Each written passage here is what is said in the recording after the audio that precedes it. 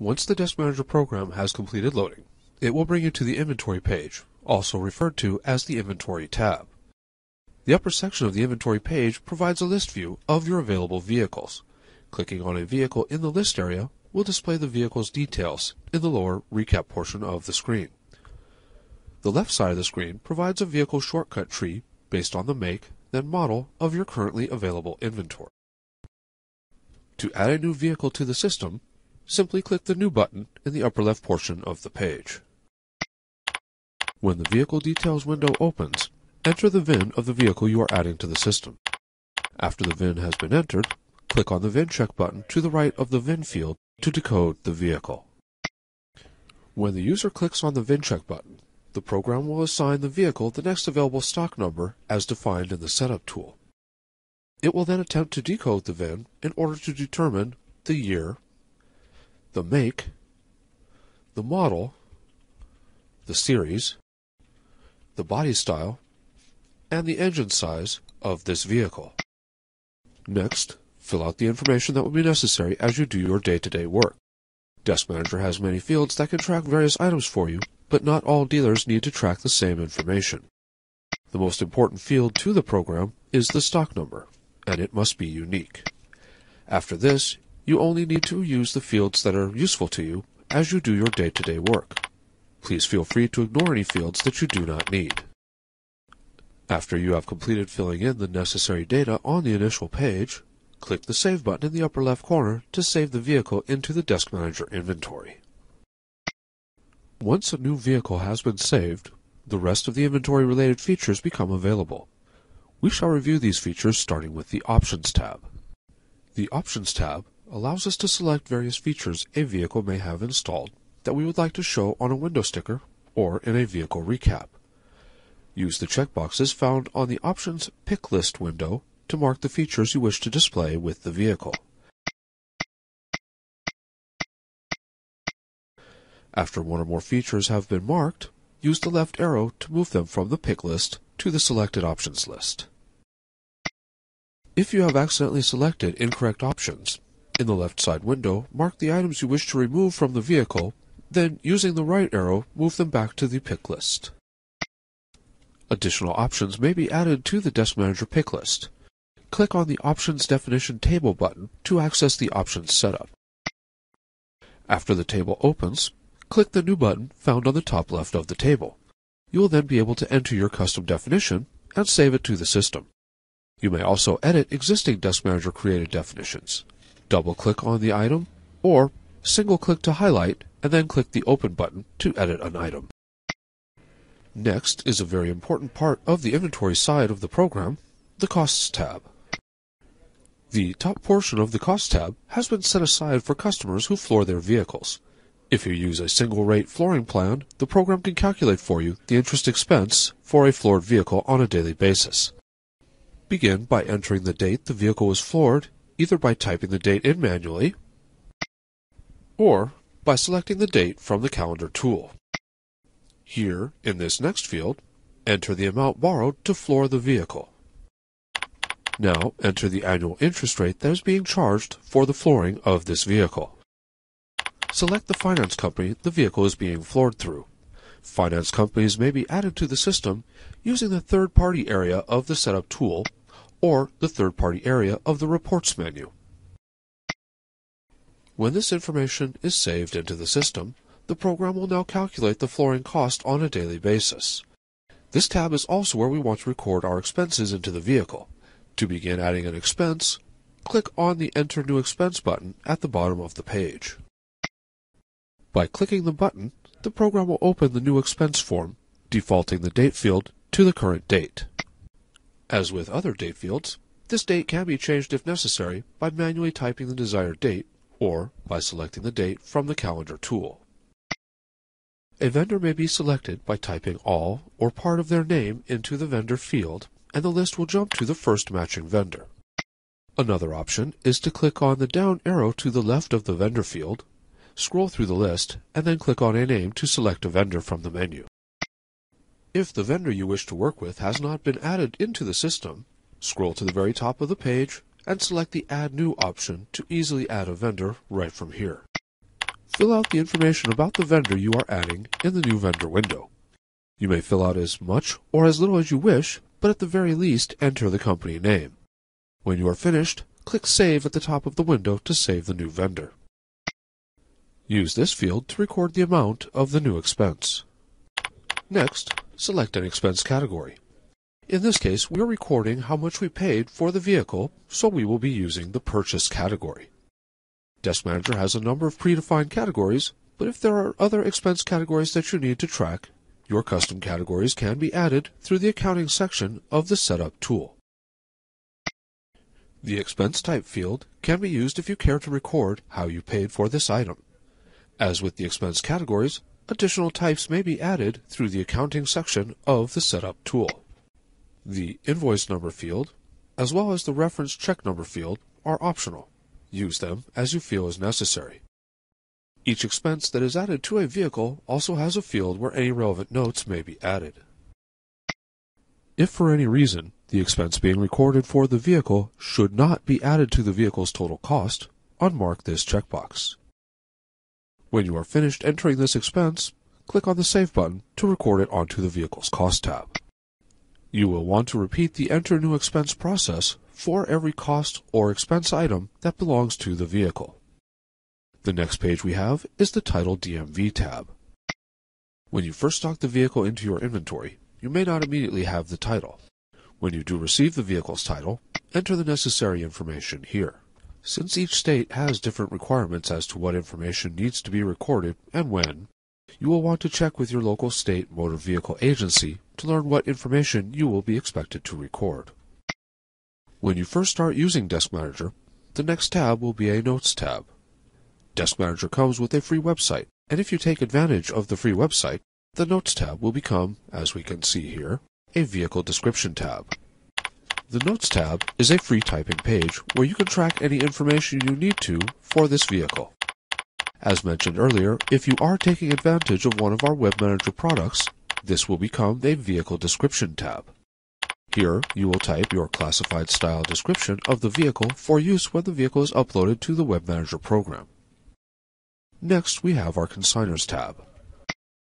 If you take vehicles on consignment, this tab is where you will record your consignors information. Click on the Consignors button to begin working with the consignors list. Double-click on the line listing an existing consignor to assign them to this vehicle, or click New to add a person or company to the list of consignors. Once a consignor has been assigned to a vehicle, click the View Print Consignment Agreement button to either create your agreement or to print a previously saved consignment agreement. A shell will open with basic information for your company, the consignor, and the vehicle. This page has a large open area where you can paste in a consignment agreement. Once the consignment agreement has been entered into the system, you will then be able to save the agreement, print the agreement, or when finished, exit from the tool. If a consignor is accidentally attached to a wrong vehicle, use the Detach button to remove the consignor. The next tab can be one of the handiest features on the inventory side of the program if you take advantage of it. This is the vehicle's to-do list. The items used on the to-do list are called actions. A to-do action would be anything that would cause you to turn to a coworker and ask, did we remember to do this for that vehicle? They do not just have to be inventory related actions either. Actions may be tracked for any vehicle of any status. Actions are created in Setup and will then appear on the list when using the Add from Actions button. To select an action, click the down arrow of the Action List field on the new to-do item. Select the to-do action to be assigned to the vehicle from the list of actions and then click Save. This action has now been added to the vehicle's to-do list. As an alternative to assigning actions to a vehicle one by one, we can also create action groups. Action groups can be used to assign multiple to-do actions to a vehicle. This is useful, for example, if when vehicles are delivered from auction, you have many actions you would want to track for every new vehicle. To assign actions belonging to an action group to a vehicle, click Add from Group. Click the down arrow to see a list of the action groups you have created. Select a group from the Action Group menu, then click OK. All the actions assigned to the action group you have selected will be applied to the vehicle. Actions for all vehicles may be reviewed from the Reports menu using the To Do report. Later, after an action has been completed, double-click on the action to open the finished item. Inside the Edit To Do window is a checkbox we can mark to let the system know when an action has been completed. This action will then no longer appear on the To Do report unless the report is configured to also show completed actions. You may record any notes related to this task here inside this Edit window as well. When you are finished working with this action, click the Save button to record your changes into the system. The last tab we have inside the vehicle is our Additional Information tab. The top portion of the Additional Information tab was set aside for RV and commercial vehicle dealers who may need to record some of this information. The lower portion of the page contains 20 customizable fields that can be used if there is any additional information you wish to record that Desk Manager has not provided a location to store elsewhere in the vehicle. Click on the Setup button to customize a field to your use. Now let us review the buttons across the top of the Vehicle Details window. Save will allow you to save changes made to the vehicle. Edit will allow you to make changes to a vehicle after it has been sold. Clicking the Black Book button will open a tool that will assist with the value lookups for a vehicle. The Black Book tool is a subscription-only option. After opening the Black Book tool, describe the vehicle's condition using the standards as set by Black Book. Clicking on the Decode button executes the lookup using the specified vehicle information. After the decoding takes place, options that will affect the vehicle's value will be listed in the center window. Marking or unmarking these checkboxes will increase or decrease the final value for the vehicle. When you have made the necessary changes to the options and have the numbers that you need, click Save to save the values to the vehicle. When saving the values to the vehicle, if the wholesale value from the lookup is less than the total cost you have into the vehicle, Desk Manager will warn you. Clicking on the NADA button will open a similar tool. Similar to the Black Book tool, the NADA tool is available by subscription only. Just like the Black Book tool, the NADA tool will read the vehicle information and offer valuations based on the accessories selected. Base values will be displayed, as well as adjusted values, according to the radio button selected within the tool.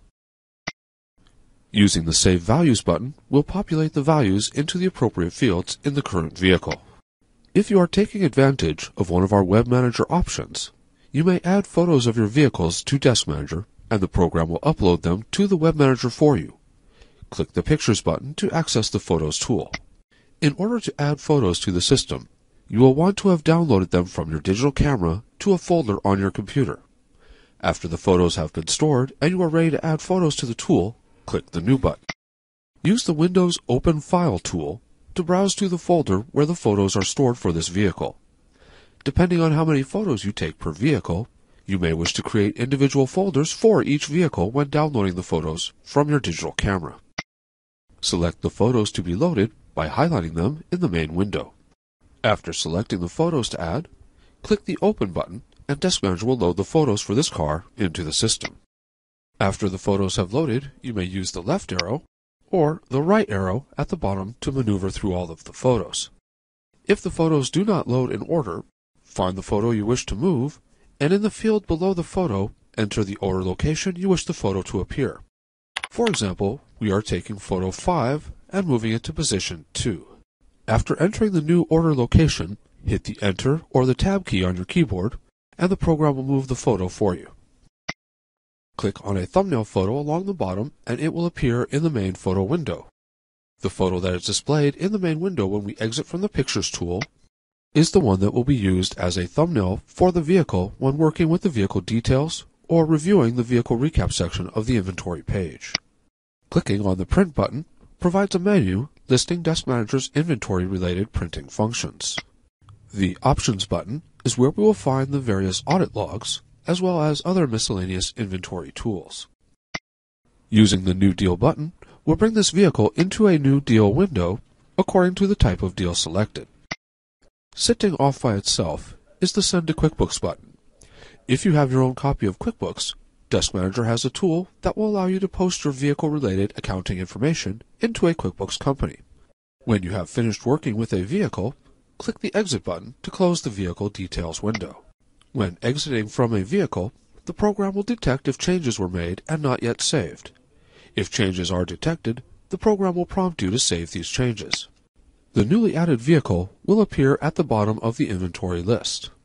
Clicking on the vehicle in the inventory list will display the vehicle in the recap portion of the inventory page. Now we will review the rest of the inventory related buttons. Open will allow the user to open the highlighted vehicle.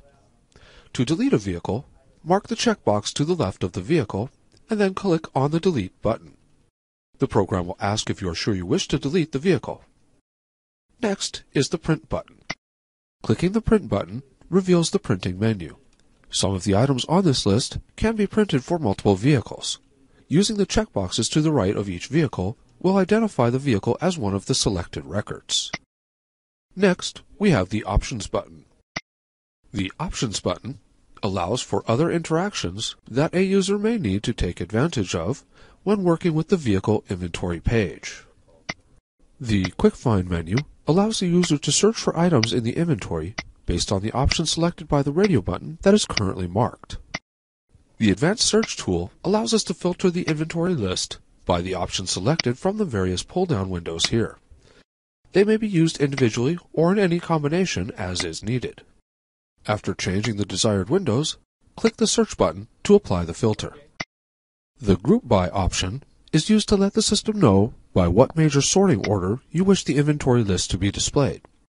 You may also sort the inventory list by clicking on any of the column headers in the main window. This concludes the demonstration of the inventory section of the Desk Manager program. Everything discussed in this video may be performed in the Desk Manager demo. If you would like to download a copy of the demo, please visit www.automanager.com and click on the free demo option from anywhere on the page. Thank you for your time and your interest in our product.